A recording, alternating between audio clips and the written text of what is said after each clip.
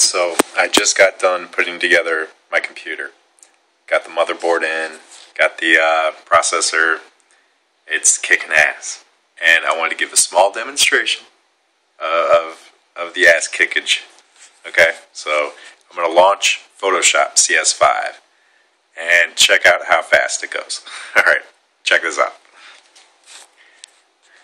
So here's my desktop. I'm going to launch Photoshop. One, two, three. Boom. There it is.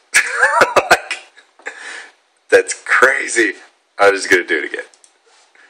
Alright. One, two, three. Oh! Gosh. You know, that used to take like a minute. Check her out. She's beautiful. Oh. Yep. Three motherboards we had to go through to make this happen. But it was worth it.